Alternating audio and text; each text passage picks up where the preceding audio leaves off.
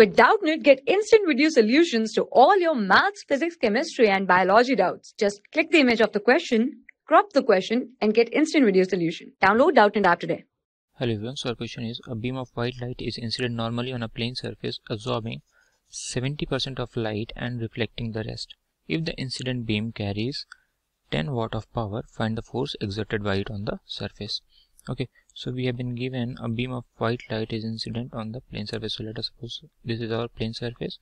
This is the incident light and this is the reflected light.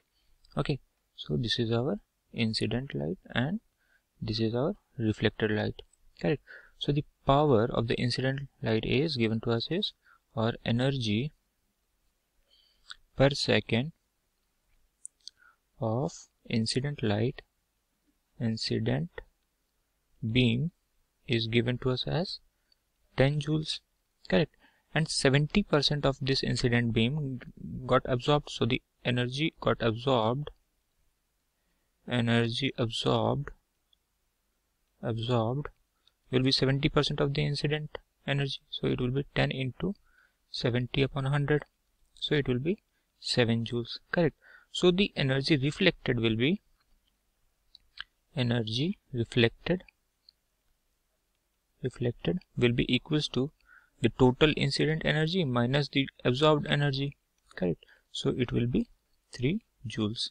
Correct. So what we can say is the energy incident is 10 joules and the energy reflected is 3 joules. Correct. Now we have to calculate what will be the force exerted by the beam on this surface. Okay.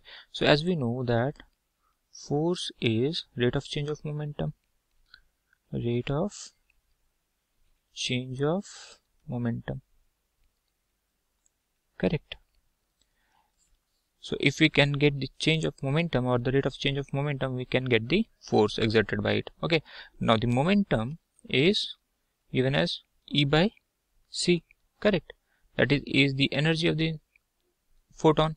Correct so the force will come out as F will be energy upon C, E upon C of the reflected light minus E upon C of the incident light. Correct. So it will be 3 upon C minus of minus 10 upon C. Correct.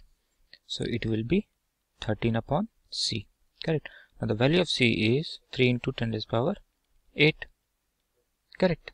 So on solving this, we will get, get it as 4.33 into 10 raised to the power minus 8 newtons. Okay. So the force exerted will come out as 4.33 into 10 raised to the power minus 8 newtons. So this is our required answer. For class 6 to 12, IIT JEE and NEET level.